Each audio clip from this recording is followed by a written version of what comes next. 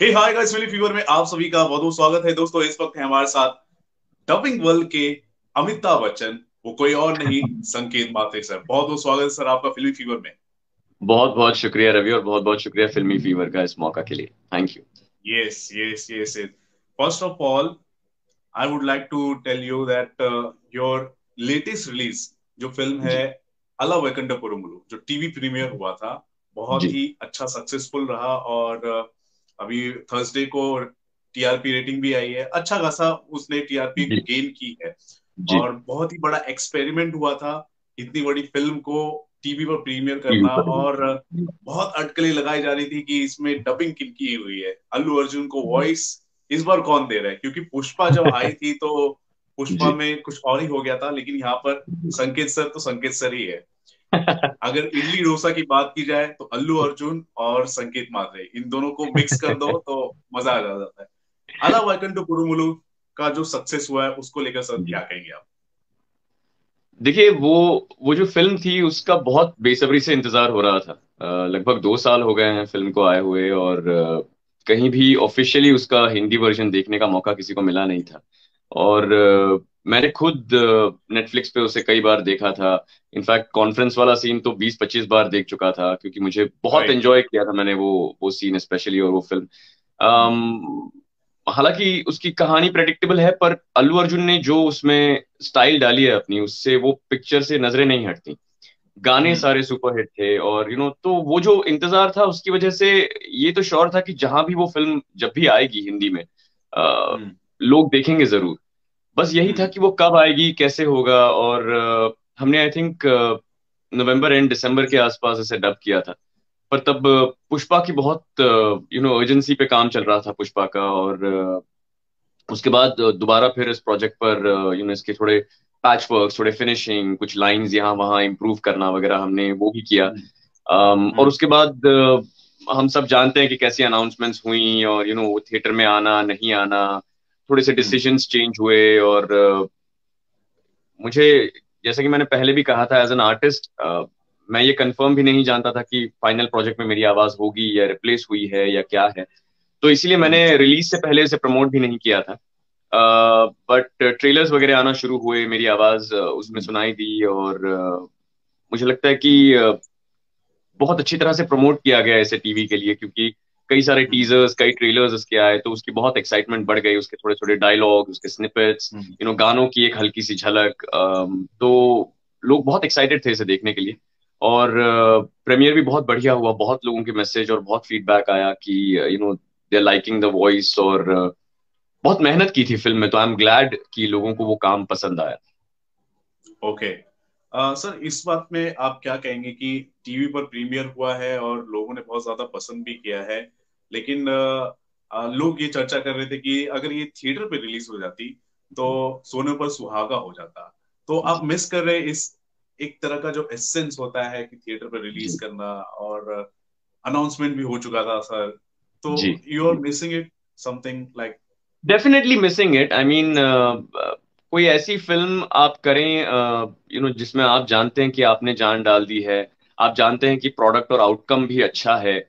और आप चाहते हैं बहुत you know you are excited कि आप लोगों के बीच बैठकर उसे देखें और उनका रिएक्शन जाने। You know definitely social media की वजह से मैं ये जान पाता हूँ कि जब लोग अपने घर पे देख रहे हैं तो वो यू नो स्टोरीज में टैग करते हैं या लिखते हैं कि सर मैं देख रहा हूँ फ़िल्म मुझे बहुत मज़ा आ रहा है ये सीन बहुत फनी हुआ है।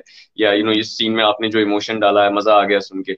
बट जब आप थिएटर हम्म। में उनके बीच बैठ कर वो फ़िल्म देखते हैं और जब यू नो एक कॉमेडी सीन पर लोग हँसते हैं या यू नो एंजॉय करते हैं हर हर एक मोमेंट को फ़िल्म के वो एक अलग एक्सपीरियंस होता है। और बहुत वक्त से ऐसा नहीं हुआ है कि मैं थिएटर में जाकर लोगों के बीच बैठकर अपना परफॉर्मेंस देख पाया हूँ तो ये एक अच्छा मौका हो सकता था।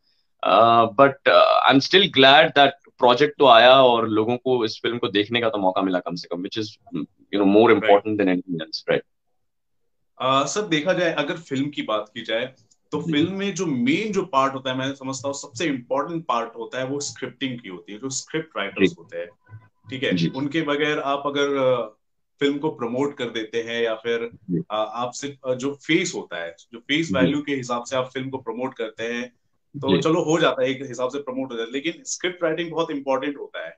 और अगर डबिंग इंडस्ट्री की बात की जाए और डबिंग फ़िल्मों की बात की जाए तो डबिंग आर्टिस्ट भी बहुत इंपॉर्टेंट होता है सर ठीक है? तो जी। आपको नहीं लगता कि अब हमें अब वक्त आ गया है कि अब कोई भी फ़िल्म हम रिलीज़ कर रहे हैं या फिर किसी भी कंटेंट को हम प्रमोट कर रहे हैं तो जिसका सबसे ज़्यादा योगदान है जिस इंडस्ट्री में जिस फ़िल्म को लेकर उन्हें आगे आकर फ़िल्म से फ़िल्म रिलीज़ होने से पहले ही उन्हें प्रमोट करना चाहिए। आपको नहीं लगता? क्योंकि पुष्पा के एक्सपीरियंस के बाद ऐसा आपने भी काफ़ी अपने आप को सतर्क कर लिया लेकिन फिर भी मैं आपसे पूछना चाहता हूँ वक्त नहीं आ गया सर। देखिए दो चीज़ें हैं। एक तो आपके सवाल में नो दो हिस्से हैं मैं समझता हूँ कि एक तो आप कह रहे थे कि किस जिसका योगदान सबसे ज़्यादा हो। तो ये बात तो ये है कि योगदान हर किसी का है। अब वो ज़्यादा कम नापना बहुत गलत मानता हूँ मैं क्योंकि हर इंसान अपने हिसाब से अपना क्राफ्ट यू नो बखूबी प्रदर्शित करने की कोशिश कर रहा है। फिर चाहे वो राइटर हो टेक्नीशियन हो डायरेक्टर हो या आर्टिस्ट हो या वो क्रिएटिव हाउस हो जहाँ पे वो प्रोडक्शन बन रही है। तो हर एक हर एक एलिमेंट उस हर एक कड़ी ज़रूरी है वो एक बेहतरीन प्रोडक्ट बनाने के लिए। ना सिर्फ़ मैं मानता हूँ कि यू नो इन लोगों को जब इनका काम प्रदर्शित होता है अब एज अ डब प्रोडक्ट तो ना सिर्फ़ इन लोगों का नाम आना चाहिए क्योंकि हम्म। जिनका भी योगदान रहा है उस प्रोजेक्ट को बनाने में उन सबका नाम यू नो दर्शकों के सामने आना चाहिए। अब तो वो वक्त आ चुका है कि you know you are getting finished products आपको बहुत बेहतरीन कंटेंट देखने मिल रहा है। तो उस कंटेंट में इन्वॉल्व जितने लोग हैं फिर चाहे वो यू नो उस प्रोजेक्ट के दौरान चाय लाने वाला क्यों ना हो हर एक का नाम वहाँ पे यू नो डिस्प्ले होना चाहिए।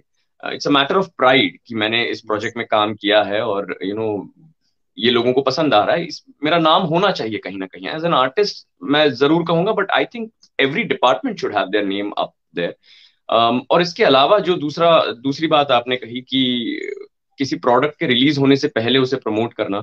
अब इसमें भी कुछ टेक्निकलिटीज होती हैं। कुछ कंपनीज़ इंसिस्ट करती हैं कि आप एक एनडीए साइन करें, जिससे कि आप उस कंटेंट से जुड़ी कोई भी चीज़ जाने अनजाने रिलीज़ ना करते। कई बार आर्टिस्ट एक्साइटमेंट में कोई ऐसी चीज़ पोस्ट कर देते हैं जो शायद फ़िल्म मेकर्स रिवील ना करना चाहते um, तो ऐसा भी होने के चांसेस हैं। अब ये कोई जानबूझकर नहीं करता पर ऐसा अगर एक्साइटमेंट में या गलती से भी हो गया तो प्रोजेक्ट के लिए थोड़ा सा हार्मफुल हो सकता है। तो कई बार प्रोजेक्ट्स में एनडीए साइन करवाया जाता है कि आप कोई भी कंटेंट रिलीज़ होने से पहले uh, अपनी तरफ़ से रिलीज़ ना करें। कई बार ऐसी ऐसे लिमिटेशन होते हैं कि जो भी ओरिजिनल कंपनी फिर चाहे वो कोई नेटफ्लिक्स हो या वॉर्नर हो वो जो भी प्रमोशनल मटेरियल डाल रही है आप सिर्फ़ उसे रीपोस्ट कर सकते हैं। Um, और कई बार जैसा कि मैंने कहा आप डाउटफुल होते हैं कि फाइनल प्रोडक्ट में आपका नाम होगा नहीं होगा आपका काम रिप्लेस किया जाएगा नहीं किया जाएगा। दीज आर थिंग्स जो आर्टिस्ट को नहीं बताई जाती। तो इसीलिए आर्टिस्ट वो रिस्क नहीं उठाना चाहता कि मैं प्रमोट कर दूँ और फिर पता चले कि मेरी आवाज़ है ही नहीं उसमें।